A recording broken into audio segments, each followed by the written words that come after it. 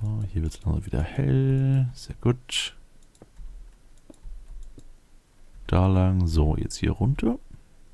Langsam gleiten. Hinter uns dicht machen. Und dich anschließen hier an das ME-System. Zack, zack. Ups, zack. Z äh, Doppelverbindung, was soll's.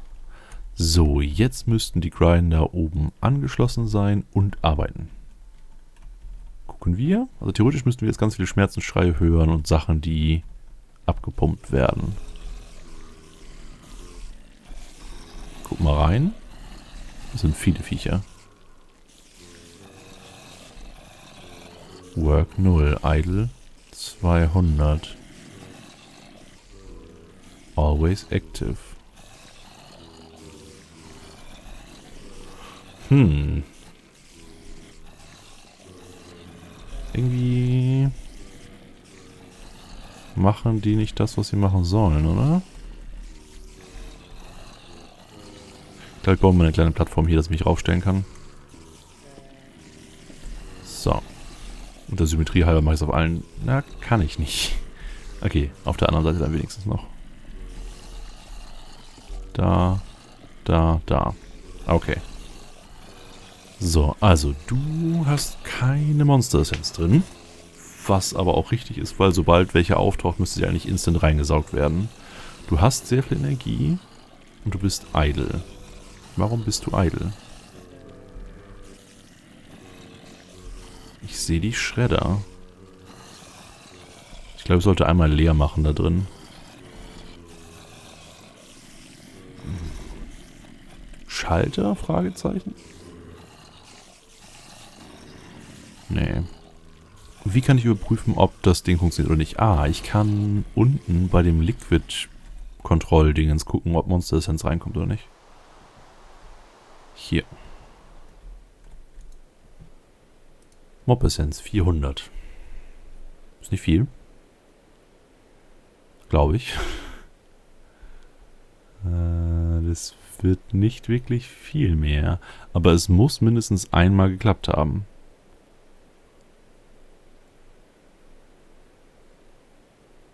Frage ist nur, wann? Hm, ich hol mal Schalter. Lever. So. Immer noch 400. Komisch, komisch, komisch. Und ich hau mal hier neue davon rein. So. Strom ist auch okay. Es ist alles angeschlossen. Es geht alles nach oben. Es kommt genug Strom oben an. Kabel oben sind alle verbunden.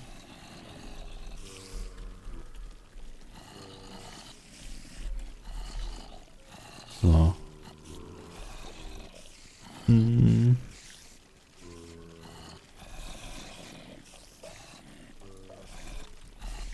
Egal, wo ich jetzt einen Schalter hinsetze, es wird gar nicht da ankommen, oder? Doch, warte mal hier. Ne, passt nicht. Äh, ich hau mal da auch noch ein Loch rein.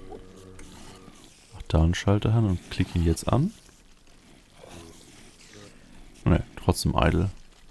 Komm schon, Junge, warum arbeitest du nicht? Das müsste richtig rum sein. Ich hau mal dich weg. Ja, hier ist der Aus... Oh. Schmeißt du sogar gleich Zeug raus. Schmeißt du noch mehr Zeug raus? Klick. Ah. Ah, es geht nicht mit einem direkten Anschluss. Okay. Das muss mir doch mal jemand sagen. Das heißt, wir brauchen jetzt einfach nur Holzkisten. Du kannst weg, du bist sinnlos. Flup, flup, flup, flup, flup. Ja, ja, kommt gleich ganz viel Zeug raus. Äh, stopp. So, Deckel drauf. Wir brauchen Holz. Holz, Holz, Holz. Also eigentlich brauchen wir nur Kisten. Haben wir Kisten auf Vorrat? Stinknormale Holzkisten. Chest. Ja, haben wir.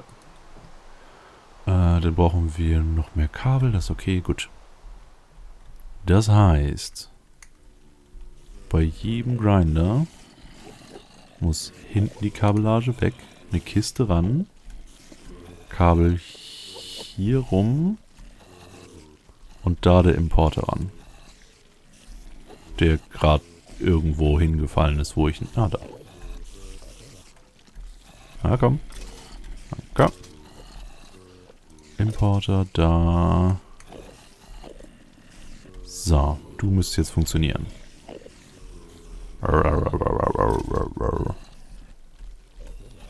So. Es sterben immer noch nur einzelne Gegner. Jetzt allerdings wesentlich schneller als vorher. Äh, Importe? Die Kiste kann ich nicht öffnen, also wird trotzdem als Zwischenlager genutzt. Und die ersten Endermen sterben. Sehr gut. Sehr, sehr gut. Oh.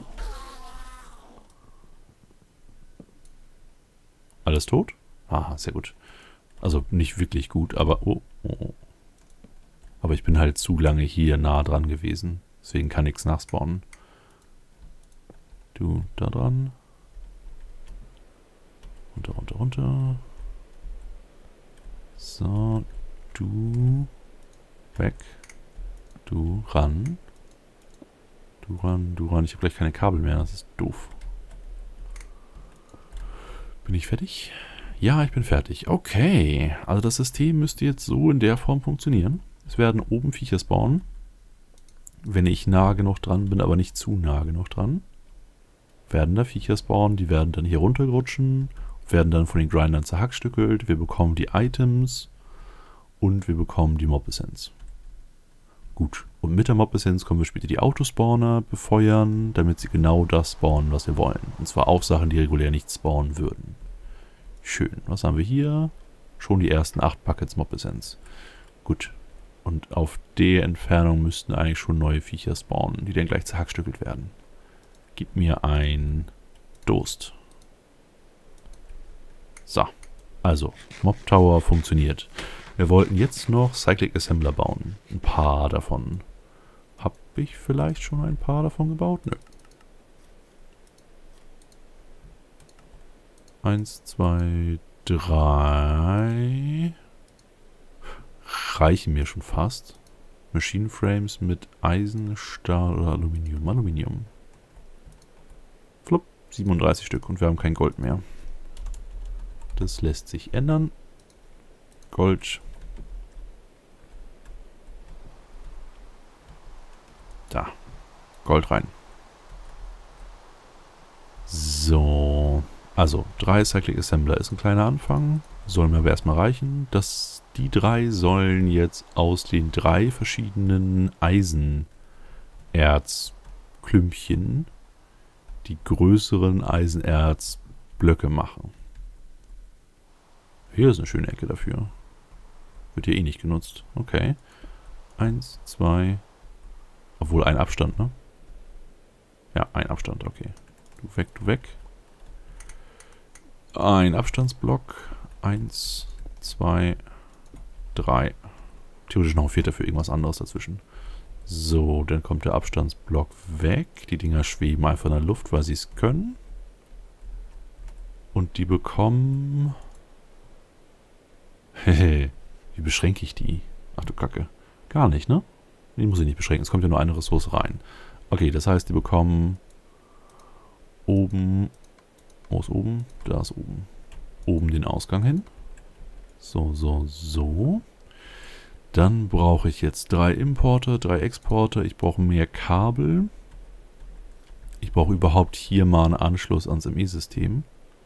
In der Zwischenwand hier. Äh, ja, sieht ein bisschen komisch aus. So, genau. Dann hier runter. Aber wir haben keine Kabel mehr. Gib mir Kabel. Kabel, Kabel, Kabel. Und...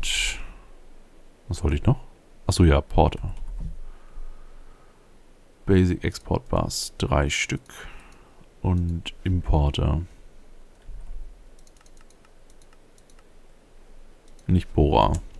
Port. Import.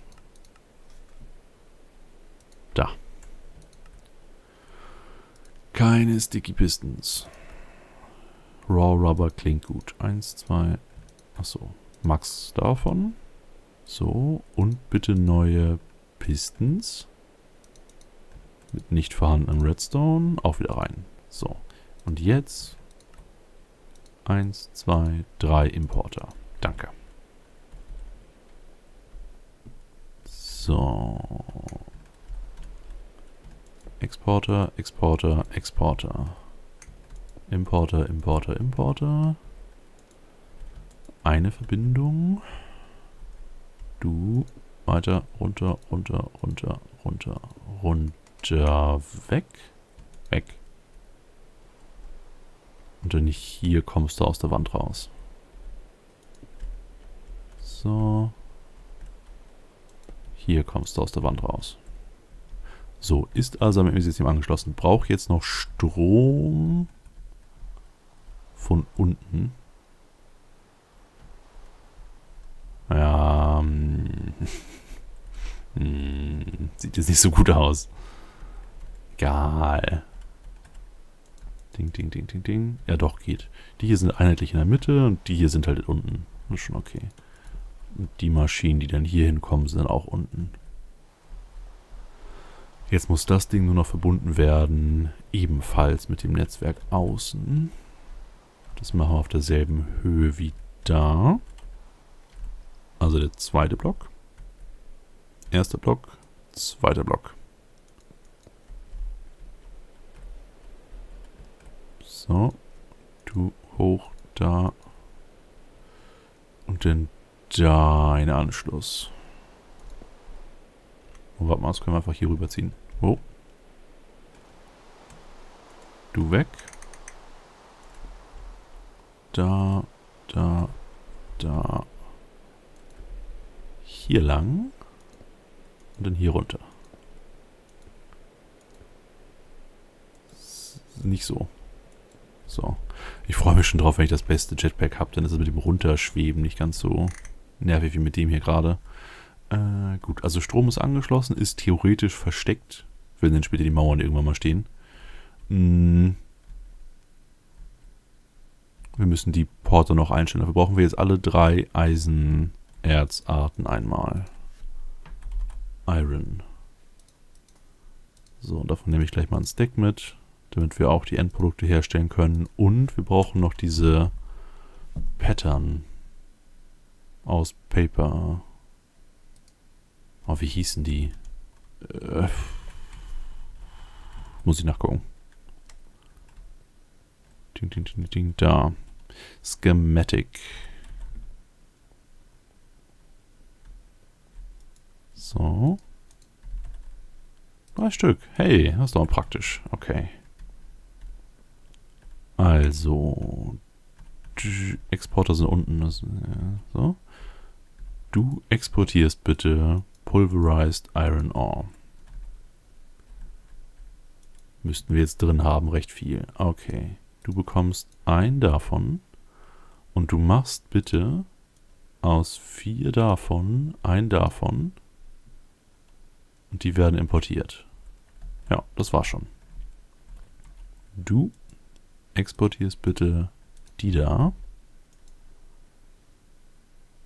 Warum ist hier Iron Ore Dust drin? Ah, weil die noch mehrere Ausgänge haben. Das ist jetzt nicht so schön.